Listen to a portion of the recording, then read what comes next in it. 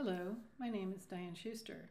In this demonstration, I'm going to be working with COZYROC's SSH Connection Manager and the File Transfer task. I'll be using variables and expressions to dynamically provide the authentication credentials to connect to an SFTP server. The package will load the credentials into the variables from a SQL Server table.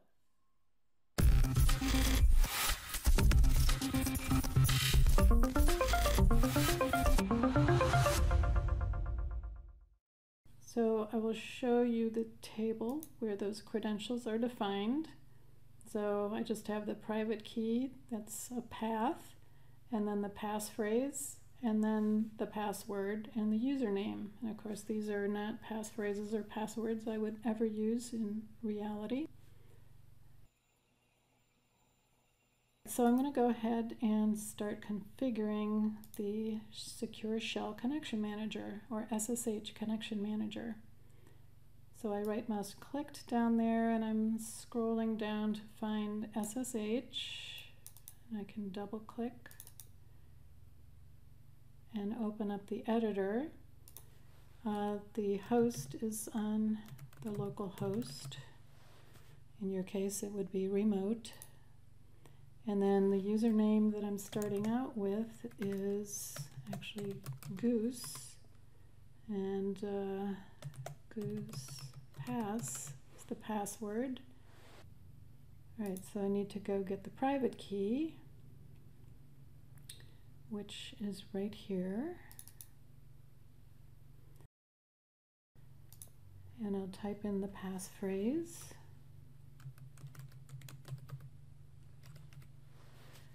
And I'll test the connection, and it's good.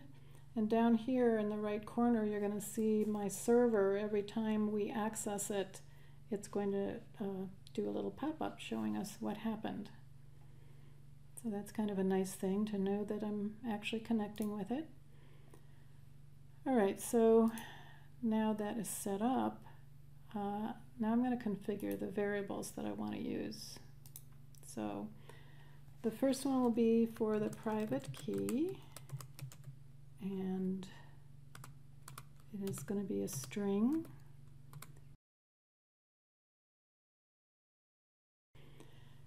And uh, then we're going to configure the next variable, which will be passphrase.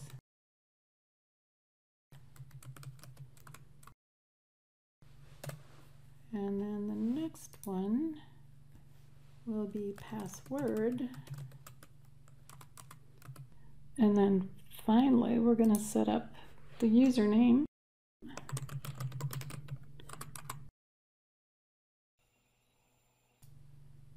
I am going to go ahead and set up the SSH Connection Manager to use variables and expressions. So I right mouse clicked on the Connection Manager and I go to Properties. And here's a list of like all the properties in there that you could set up using an expression. So I will go up here to expressions.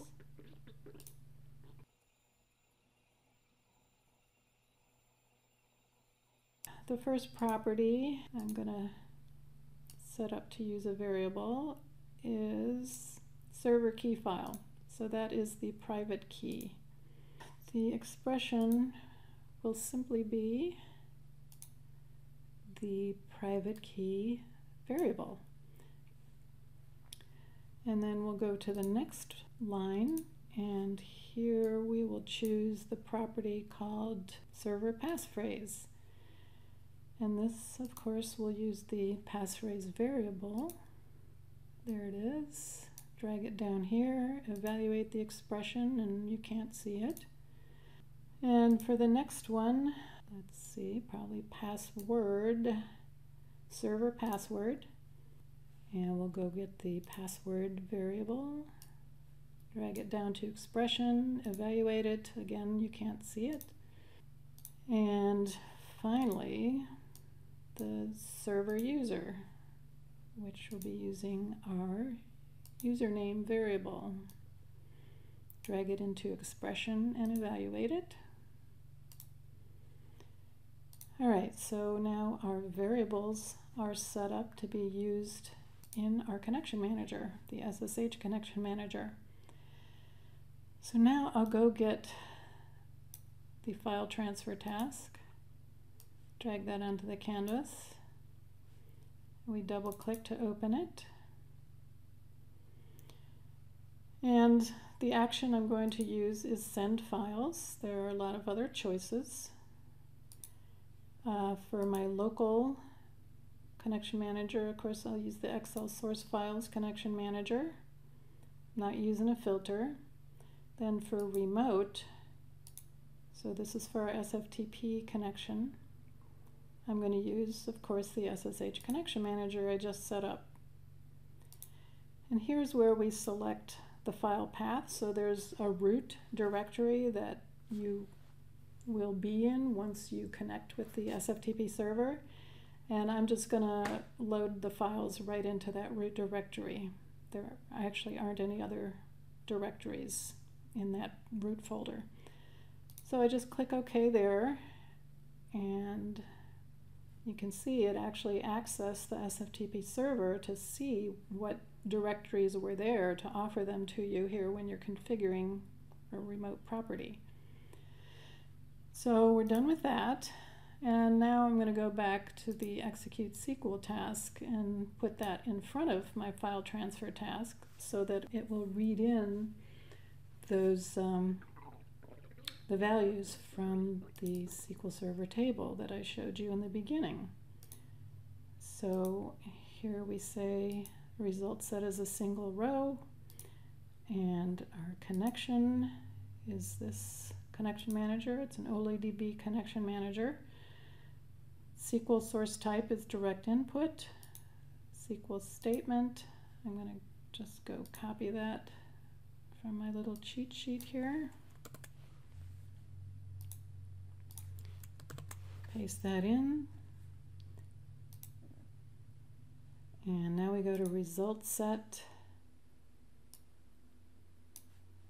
And I'm going to add a line for each of our four variables. So I'm going to put private key path, that's the name of the field in the SQL Server table. And we'll map that to the private key variable. And then we'll add another line here for passphrase.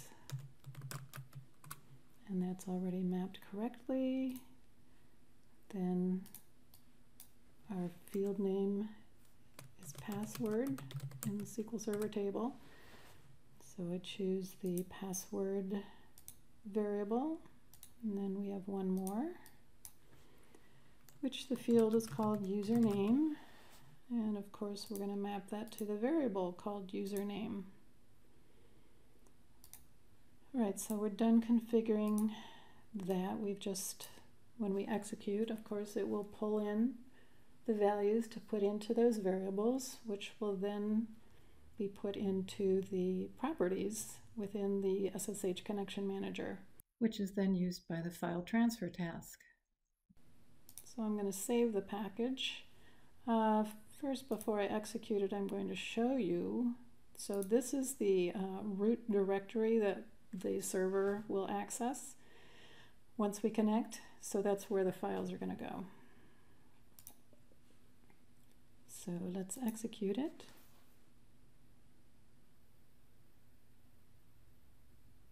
And there you can see it succeeded, and over here you can see all of the messages from the server, which I'm using Bitvise SSH server. So it says that it copied all these files up there. I'm going to stop debugging and I'll show you the root directory now has all six of the uh, Excel files in it. If you want to follow us on social media, here's a slide that tells you how you can do that.